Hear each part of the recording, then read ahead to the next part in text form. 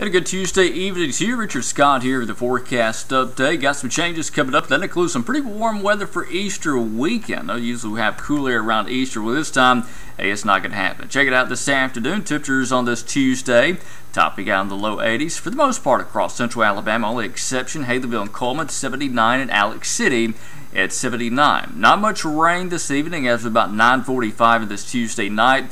A couple of showers trying to pop up across Mississippi and far northwest Alabama. It's going to be a small chance for shower too tonight during the day tomorrow. Now tomorrow we will top out in those lower 80s. It's going to be a warm day.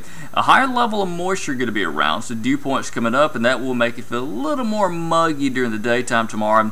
I do expect temperatures again between about 82 and 85 across Alabama. Partly sunny skies expected, kind of mixture of clouds and sunshine. Don't expect a whole lot of sun for our Wednesday. There could be a shower too as a weakening front does drift in from the northwest, and this front becomes stationary and washes out by Wednesday night into Thursday. Now, Thursday, rain is unlikely. There could be a stray shower somewhere across central Alabama. You see the forecast model. That's going to be one of those quick hitting, isolated showers. Otherwise, mostly sunny and hot on Thursday and fairly hot on Friday, which should be easily in those middle 80s on Friday, Saturday, Sunday for Easter weekend. A lot of people talk about that Easter cool snap. Hey, it's not going to happen this year. Look at that. Again, temperatures this weekend well into the mid 80s. That is above average for this time of the year. Lows at 9 the upper 50s to around 60. Early next week, some evidence could have a couple of showers by Monday into Tuesday that looks like mainly in North Alabama, risk of showers.